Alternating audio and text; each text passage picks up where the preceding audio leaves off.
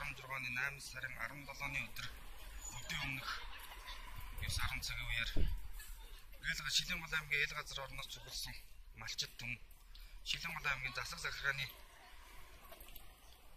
үүдэнд ирж эл талын өөрийн эрх ашиг хамгаалахын төлөө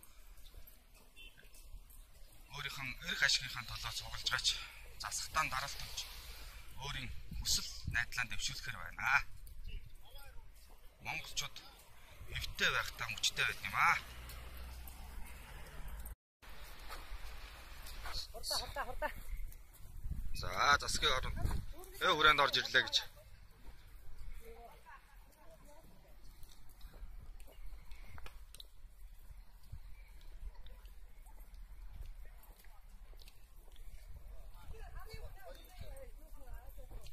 За засгаас бас сайхан хүлээж авлаа.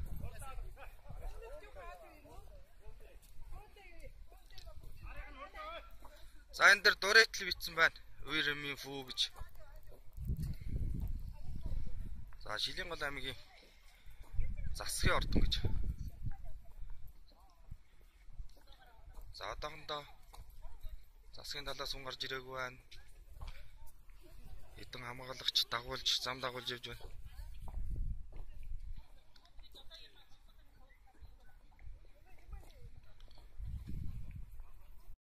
За манай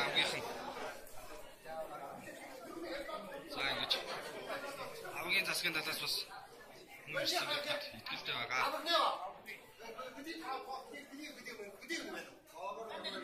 Таагаар яргүй ба.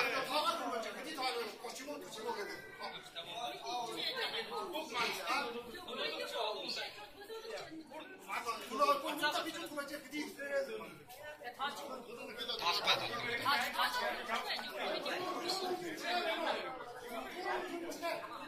Малын давж юм.